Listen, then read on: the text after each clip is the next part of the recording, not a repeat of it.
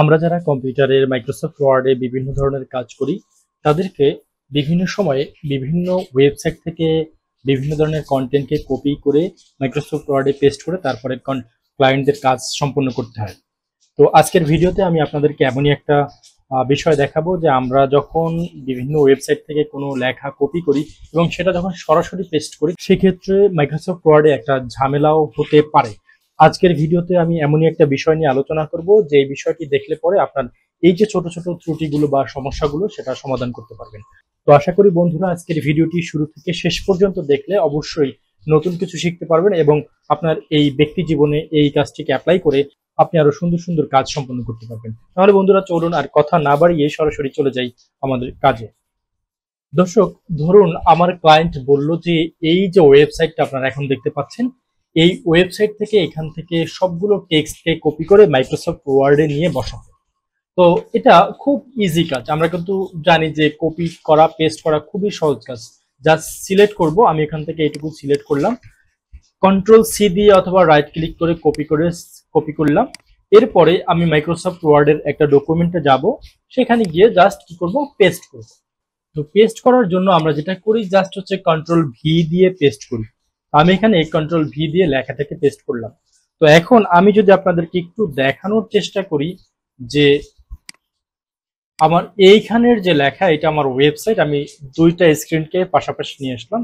এই ওয়েবসাইট থেকে আমি লেখাটা কপি করলাম এবং এটা হচ্ছে মাইক্রোসফট ওয়ার্ডের উইন্ডো আমি এই উইন্ডোর মধ্যে এটা পেস্ট করলাম। যখন আমরা কন্ট্রোল সি দিয়ে কপি করি এবং সরাসরি কন্ট্রোল ভি দিয়ে যখন আমরা পেস্ট করি, তখন দেখেন আমাদের এইখানে যে ধরনের স্টাইলে ছিল, যে ধরনের ফরম্যাটে ছিল আমার মাইক্রোসফট ওয়ার্ডেই কিন্তু ঠিক সেই ধরনের যে ফরম্যাট সেটাই কিন্তু এখানে চলে আসছে। তো এখন এখানে একটা সমস্যা আছে, সেই সমস্যাটা মূলত আজকের ভিডিওর মূল আলোচনা। এখন ধরেন এই লেখার নিচে আমি একটা শেপ দিতে চাই।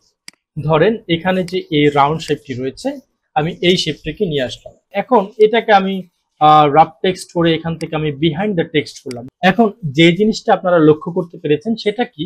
আমি যখন এই যে একটা শেপ এখানে নিলাম এবং এটাকে যখন বিহাইন্ড দ্য টেক্সটে আমি নিলাম, তখন কিন্তু দেখতেই পাচ্ছেন লেখার উপরে একটা আবরণ আছে। আমরা সাধারণত কোনো টেক্সট যদি লিখি, তো আমি এখানে একটা নতুন ডকুমেন্ট নেই।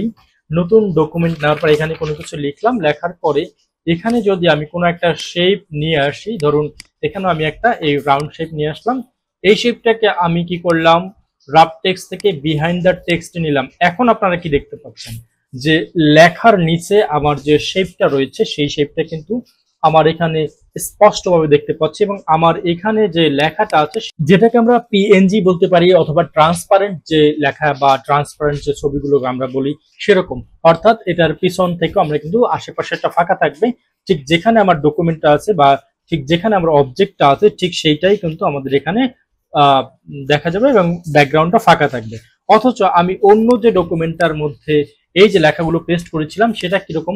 সেটা কিন্তু দেখেন, এটা কিন্তু ট্রান্সপারেন্ট না। এটার পিছনে একটা ব্যাকগ্রাউন্ড আছে। তো আজকের এই ভিডিওতে আমি মূলত আপনাদেরকে দেখাবো যখন আপনারা এরকম ধরনের কোনো কাজ করবেন, যে কাজগুলো আপনাকে কপি করে পেস্ট করে করতে হবে বারবার, এবং সেখানে যদি এরকম লেখার সাথে একটা ব্যাকগ্রাউন্ড আসে, তাহলে আপনি এইটা কীভাবে পেস্ট করবেন?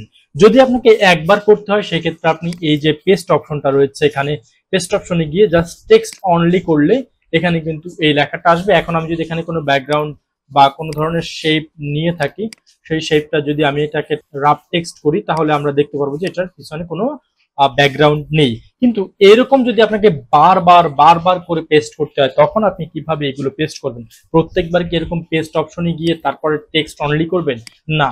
এটা করতে হলে আপনাকে প্রথমত যেটা করতে হবে, আপনাকে চলে যেতে হবে ফাইল অপশনে এখান থেকে আপনাকে চলে যেতে হবে অপশনস তারপর এখান থেকে কাস্টমাইজ রিবন এখন এটা এইভাবে কাস্টমাইজ জীবনে না গিয়েও আপনি এই রিবনের মধ্যে রাইট ক্লিক করে এখান থেকেও সরাসরি কাস্টমাইজ রিবন চলে যেতে পারেন। কাস্টমাইজ রিবনে এসে আপনি চলে যাবেন এখান থেকে এই যে কাস্টমাইজ যে অপশনটি রয়েছে সেখানে কাস্টমাইজ থেকে আমরা এখানে আমাদের যতগুলো মাইক্রোসফট ওয়ার্ডের অপশন রয়েছে বা মেনু রয়েছে সেই অপশনগুলো আমরা এখানে দেখতে পারব। এখান থেকে আমরা সরাসরি চলে যাব একদম নিচের দিকে। আমাদের এই যে কার্সরটা নিচের দিকে টান দিয়ে আনলে পরে আমরা এখানে দেখতে পারব অল কমান্ড যখন আমরা অল কমান্ডে ক্লিক করব, তখন কিন্তু ড্রাইভ পাশে এই যে কমান্ডস এর যে অপশনটি রয়েছে, এখানে মাইক্রোসফট ওয়ার্ডের যতগুলো কমান্ড আছে, সবগুলো কমান্ড এখানে চলে আসছে।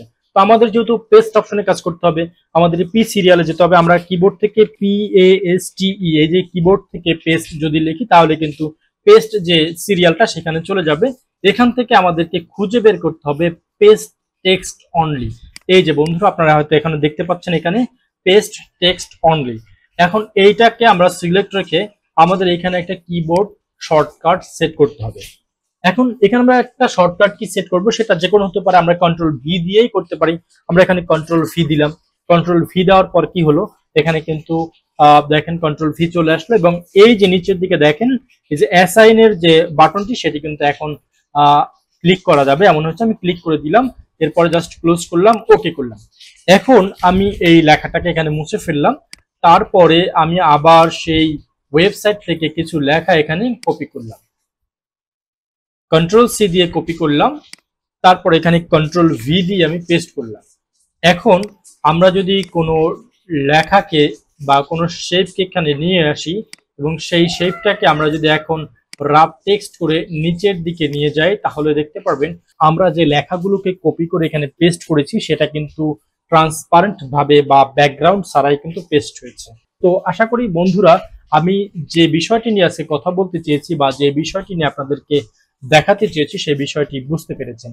যদি আজকের এই নতুন ভিডিওটি থেকে আপনি নতুন কিছু শিখতে পারেন, তাহলে অবশ্যই আপনার কাছে রিকোয়েস্ট করব যে আপনি আমার এই যে কীভাবে শিখব ইউটিউব চ্যানেলটি রয়েছে, সেটিকে আপনি সাবস্ক্রাইব করে দিবেন এবং পাশে থাকা যে বেল আইকনটি রয়েছে, সেটিকেও অন করে দিবেন। পরবর্তীতে কীভাবে শিখব ইউটিউব চ্যানেলের আরও নতুন নতুন ভিডিও দেখার আশা রেখে এখানেই শেষ করছি। সেই পর্যন্ত সবাই ভালো থাকুন, সুস্থ থাকুন। আল্লাহ হাফেজ।